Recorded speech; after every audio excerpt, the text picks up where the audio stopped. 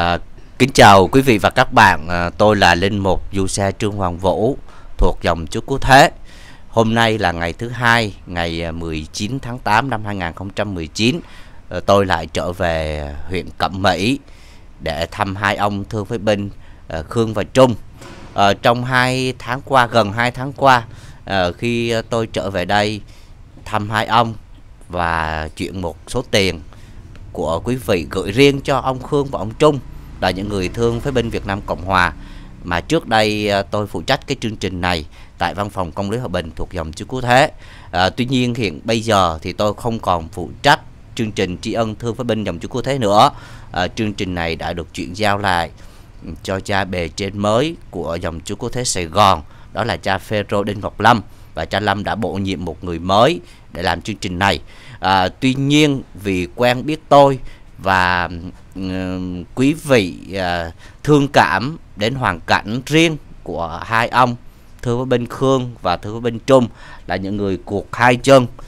Ờ, mặc dù cuộc hai chân thì hai ông, như quý vị đã biết qua những cái video trước đây à, ông Trung thì phải đi móc củi cao su, ông phải đi hàng ngày à, với cái đôi chân cuộc của mình trên chiếc xe xe lắc để đi lấy củi cao su về à, mỗi ngày ông đi như vậy thì chỉ kiếm khoảng được mấy chục ngàn để mà sinh sống thôi. À, ông Khương thì cũng vậy. ông Khương thì ông làm cỏ mướn ha. Dạ, dạ, dạ. ông làm cỏ mướn thì một ngày cũng chỉ có mấy chục ngàn ừ, tiền công thôi. À, trong khoảng thời gian qua khi mà quý vị xem video clip đó thì à, chúng tôi cũng rất là cảm động. À, khi có những người muốn đón nhận hai ông về nhà để nuôi dưỡng hai ông. À, nhưng mà vì hoàn cảnh của các ông là đặc biệt bởi vì các ông còn có vợ con và cháu nữa nên các ông không thể rời bỏ vợ con cháu của mình để ở uh, nhà quý vị. À, như uh, thưa ông Trung thì có những người thì họ ở tận ngoài Bắc đó họ đã liên lạc với ông rồi đó họ muốn đón ông về đó. À, nhưng mà ông còn phải cuộc sống của ông nữa còn vợ con cháu nữa và ông vẫn là lao động chính để uh, nuôi sống gia đình. Nên ông không thể rời khỏi cái nơi này được.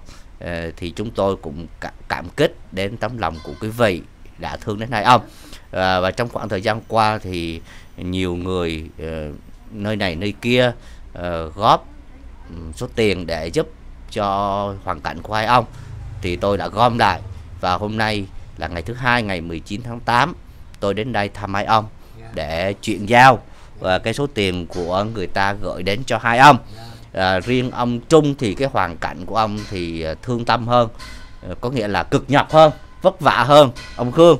À, khi mà người ta xem trên video clip đó à, thì người ta lại gửi riêng cho ông Trung và số tiền nhiều hơn. Vậy ông Khương thông cảm nha. Ông Khương thông cảm chuyện này nha.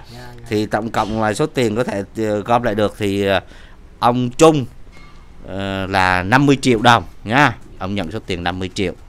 Còn ông Khương là 28 triệu. À, chuyện cho ông Khương nha. 28 triệu. À, thì tôi cũng xin uh, thay mặt uh, hai ông um, cảm ơn tất cả quý vị gần xa và vì bây giờ tôi là người không còn phụ trách chương trình này nữa thì tôi sẽ cho cái số điện thoại của ông Trung và ông Khương ở đây để quý vị muốn giúp đỡ cho hai ông thì quý vị tiếp tục giúp đỡ qua sự liên lạc trực tiếp đến hai ông. À, số điện thoại của ông Trung là 0356 388 492 à, tôi xin lặp lại à, 0356 388 492 à, số điện thoại của ông Khương là 0329 803 150 à, số điện thoại của ông Khương là 0329 803 105 à, hai ông thì ở tại xã Xuân Mỹ huyện Cẩm Mỹ à, tỉnh Đồng Nai. À, quý vị chỉ cần tới ngay cái chỗ là ngã ba xã Xuân Mỹ thì quý vị hỏi thăm nhà ông Trung và ông Khương. Cuộc khai trương thì ai cũng biết hết. À, thì ông Khương à, có lời nào muốn gửi đến bà con không? Dạ dạ dạ hôm nay uh, tôi cũng tàn phế bây giờ cũng nhờ các bà con giúp đỡ cho tôi được số tiền vậy cũng mang ơn dữ lắm.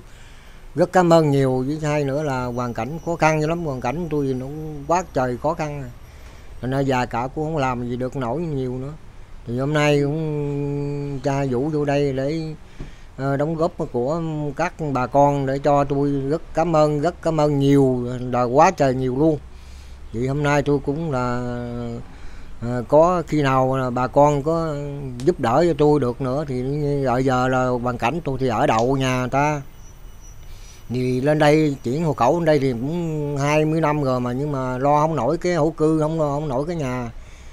Thì hôm nay cũng là nhờ bà con cũng có thể giúp đỡ cho tôi rằng tôi cũng có số tiền đang uh, à, lâu ngày đang tôi cũng tiết kiệm để đang lo cái hậu cư đang ở. Hôm nay cũng gần ba bảy mươi tuổi rồi vậy tôi cũng có chút là cái, một cái lời để ừ, nhắn nhủ với bà con của bên anh em chúng tôi. Nên nay cũng là hân hạnh quá trời. Nay cũng vậy thì cũng từ đây sắp tới cũng có thể gắng cố gắng cầu chúc cho bà con làm ăn cho được nhiều, khỏe, mạnh, rồi gắng giúp đỡ cho anh em tôi. Vì hôm nay tôi cũng thành thật cảm ơn nhiều dữ lắm. Dạ xin cảm ơn nhiều. Trung ờ, nói vài lời ha nói không được đâu đẹo nói rồi kỳ này ờ, đi cụ như thế nào à, à, củ dùng cũng ngày nào cũng hai ba xe tôi nói vậy Không sao. À, Ngày này à, có đi con, hả? Còn. Rồi ờ, cảm ơn quý vị ờ, đã theo dõi về cái hoàn cảnh cuộc sống của hai ông Trung và ông Khương. Ờ, thì ông Trung cuộc sống của ông vẫn tiếp tục đi ờ, lấy củi cao su ờ, bằng chiếc xe xe lắc ba bánh của ông á. Ông cũng vừa mới kể tâm sự là cái chiếc xe thì bây giờ câm nó cũng gãy rồi. Thì ông có thể trang bị chiếc, à, chiếc xe mới. À, còn thưa hai ông và ông Trung và ông Khương à, chương trình à, tri ân thương phế binh Việt Nam Cộng Hòa ở dòng chú quốc tế Sài Gòn đó thì bây giờ vẫn tiếp tục hoạt động nha nhưng mà nó thành một cái tên gọi mới ha. Tên gọi mới Dạ. à, thì à, gọi là hỗ trợ cho những người tàn phế theo cái ý nghĩa là bác ái xã hội. thì hai ông à, muốn tiếp tục nhận cái sự trợ giúp này thì hai ông ghi danh lại. Ha, lên dòng chú quốc tế Sài Gòn. Hai ông à, gặp người phụ trách à, của chương trình ở đó. Hai ông chỉ cần ghi danh lại. Thì hai ông à, ờ, ờ, sẽ nhận được cái sự hỗ trợ của cái chương trình mới. Vậy thôi nhá còn à, chúng tôi những người cũ đó thì bây giờ chúng tôi không còn không còn liên lạc không còn liên quan đến ờ, chương trình này nữa. Và chúng tôi là những người cũ rồi và ban mới họ làm việc. Thì ờ, đây là những cái người với tư cách là cá nhân ờ, quen biết và họ gửi riêng cho hai ông. Thì tôi có bụng phận phải chuyển tới thôi nha. Còn bây giờ thì tại vì tôi không còn ờ, phụ trách chương trình nên tôi cũng chẳng có thể không có thể không có quyền coi như là đứng ra quyên góp cái gì hết. Bởi vì tôi không còn phụ trách chương trình này nữa. Nhưng mà tại vì những người trước đây họ biết và họ thương hai ông thì ông gửi qua cho tôi để tôi chuyện thôi nha. Thì uh, bây giờ thì cái số điện thoại hai ông cũng đã có rồi đó. Thì uh, quý vị nào thấy hoàn cảnh này cần uh, giúp đỡ thì quý vị liên lạc trực tiếp qua số điện thoại của hai ông. Ờ, xin cảm ơn tất cả quý vị và các bạn. cha nói là đó là cũng như là để à, cũng như là để bàn giao về cái chỗ mà lúc à, cha mời tụi con đi đó để À, à, à, đó à. ngay chân cái nhà thờ đó. Nhà thờ bây giờ thì người mới. Dạ dạ. Ừ, thì hai ông lên ghi danh lại nhá. Dạ dạ dạ. Vậy thôi cũng à, hôm nay cũng cha nói ra thăm à, gia, gia đình hai anh em tôi giờ hôm nay tôi cũng có đôi lời để cảm ơn à, khi nào có dịp nào mà có giúp đỡ cho tôi nữa thì à, gửi cha nói là cũng có quà gì đó gửi chân nhà nhà thờ cha cha gì đó biết chỗ nào nhưng mà hai ông phải lên đó dạ dạ lại. rồi à, cha có biết số điện thoại đó rồi là để liên lạc rồi cho- cho hai anh em tôi để lên để tham dự cái chân chỗ nhà thờ của cái nhà thờ gì mà mang hai ông mang giấy tờ giấy tờ hồi xưa đó. Dạ dạ. Chứng nhận ờ, dạy ngũ thương với binh đó. Dạ dạ. Lên để lấy làm lại hồ sơ nhá. Dạ dạ dạ. Thì cũng như vậy cha mình cũng như nói miệng bây giờ cha biết sao không? Cái hồ sơ cũng mất hết rồi mất hả? hết rồi bây mất giờ hết đó thì phải lên lên trên đó. Thì nó lên cơ quan của cha đó. lên Ừ. trên, trên văn phòng nó gặp gỡ Dạ. rồi xác nhận lại nha dạ lên như nhân phòng chỗ à, Chỗ cũ à, đó. đây đó chỗ cũ đó là Dạ, để dạ. xác nhận đây. Dạ, dạ dạ, dạ xác nhận. Dạ. dạ. Thì cái đó cũng tên tuổi của con cũng còn nằm đó à, còn, hả? còn thì Cũng lên lên gặp họ để họ gặp ghi tên lại ghi tên lại Dạ, cũng như dạ. làm cái sổ mới chắc mới lại. dạ dạ. Vậy hôm nay rất cảm ơn nhiều. Dạ dạ. Rồi.